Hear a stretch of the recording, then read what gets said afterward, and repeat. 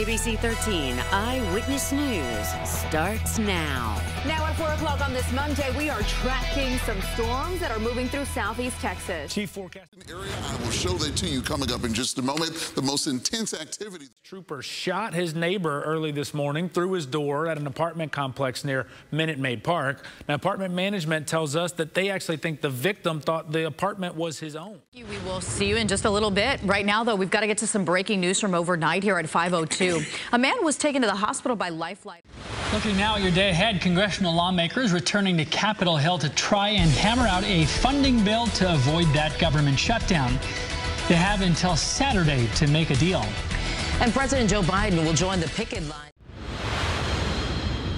Earlier this evening in our 530 newscast, I introduced this graphic to you, painting the picture of the two different scenarios we could see with the into our north has been with hail. I'm not surprised with how humid it is and how slow these storms are moving that we could potentially see some hail from some of these showers and storms. But then also uh, thinking about how cyclical we, this rain chance is, we'll be watching here and then moving into Houston between about 7 and 8 o'clock. So over the next 24 hours, as temperatures drop, rain chances rise. The first chance for rain tomorrow for most of southeast Texas is going to be during the morning hours for your morning commute. Up, is it making it to the Houston?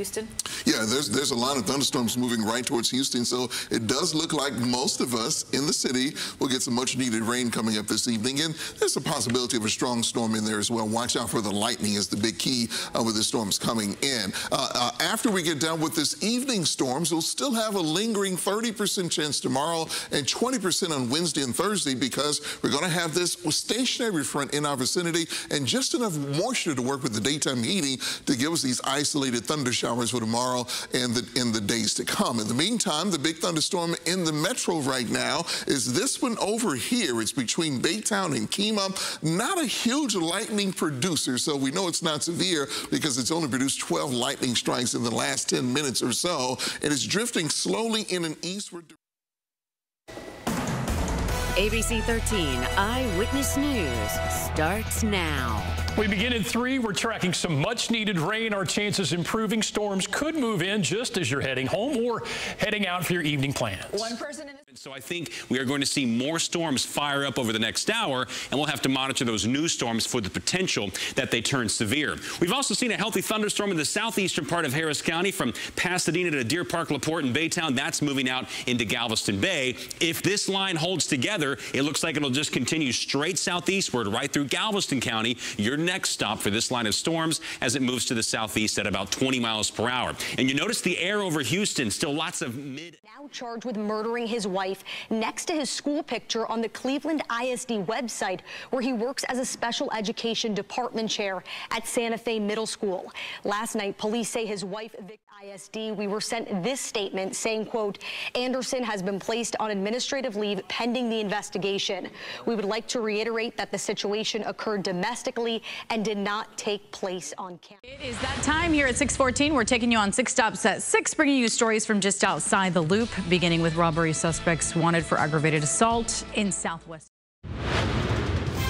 Live breaking news tonight as a tragic situation unfolds in Kingwood, where a SWAT situation just ended with a woman dead and a man under arrest. We're live with the latest from investigators tonight.